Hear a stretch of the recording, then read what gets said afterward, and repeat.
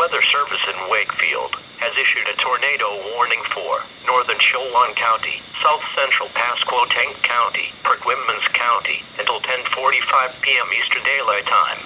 At 10:20 p.m. Eastern Daylight Time, National Weather Service Doppler radar indicated a tornado.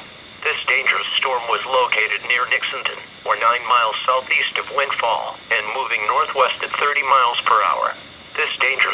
Will be near Chapanoke, Winfall, and Hertford around 10:35 p.m. Eastern Daylight Time. Belvidere around 10:45 p.m. Eastern Daylight Time.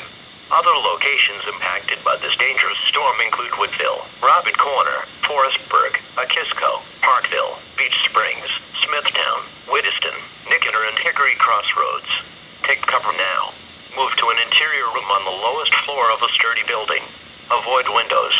If in a mobile home, a vehicle, or outdoors, move to the closest substantial shelter and protect yourself from flying debris. Heavy rainfall may obscure this tornado. Do not wait to see or hear the tornado. Take cover now.